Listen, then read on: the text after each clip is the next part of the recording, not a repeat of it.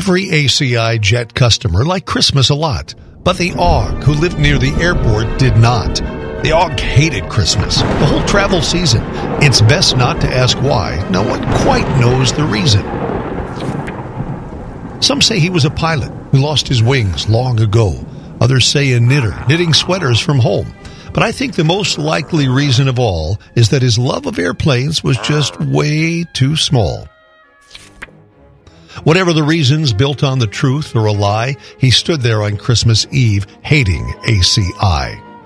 Staring out his window with a furied, AOGGY nose, he glared spitefully at the brightly lit FBO. For he knew every ACI jet customer would be traveling soon on those big, noisy jets that would rattle his room. They're packing their bags, he snarled with a sneer. Tomorrow is Christmas. It's practically here. And then, oh, the noise, the jet noise. Noise, noise, noise. That's the one thing he hated. Airplane noise. Noise, noise, noise.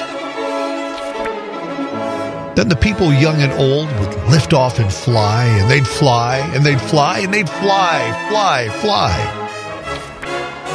They'd fly on fast jets and on small piston planes, which was something the AOG couldn't stand, not one more day. They'd share selfies with hashtags and post TikToks online. They'd tag their friends as they went whizzing by. The smoke from their engines would fill up his room. Each year, he'd seal up his house, seal it up like a tomb. I must stop Christmas travel, he thought. But how? Then he got an idea, an awful idea. The AOG got a wonderful, awful idea. He chuckled and chuckled with sinister bliss. With this hat and this badge, I'll look just like line service. Then he loaded some tools and some other supplies and headed to the FBO where the planes await flights.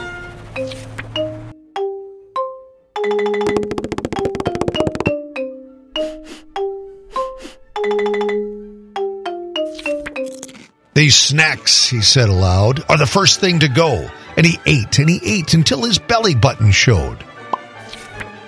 Then he slunk to the icebox where he ate all the catering. He even ate the parsley, only there for displaying. With five tons of foam to the control tower did he go. Let's see ATC work when it's packed full of snow.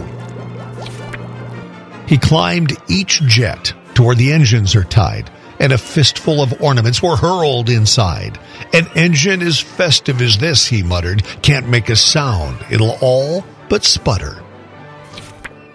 Then with a glug, glug, glug, a fuel truck was loaded with one ton of eggnog.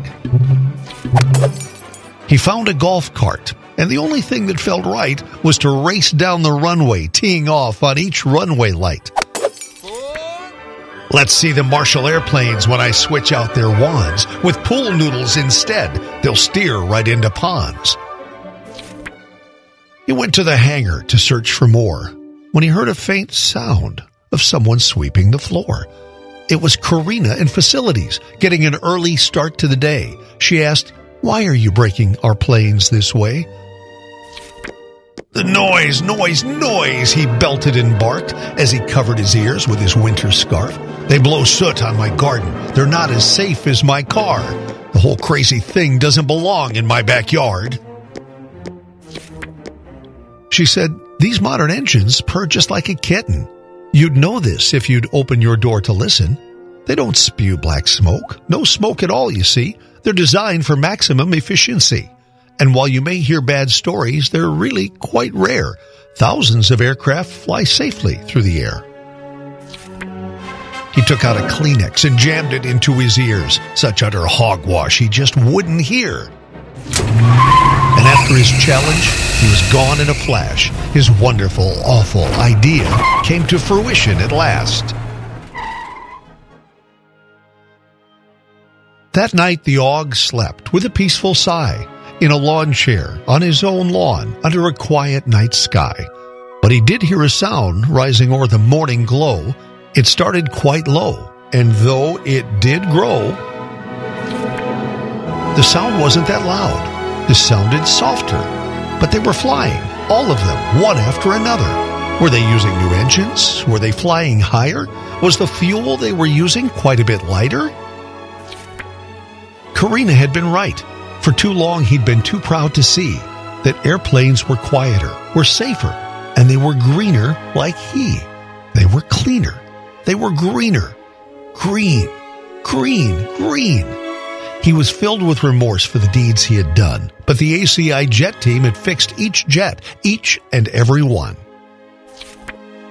When the last traveler departed, he packed his bag light, and he, the AOG himself, he took the last flight. The end.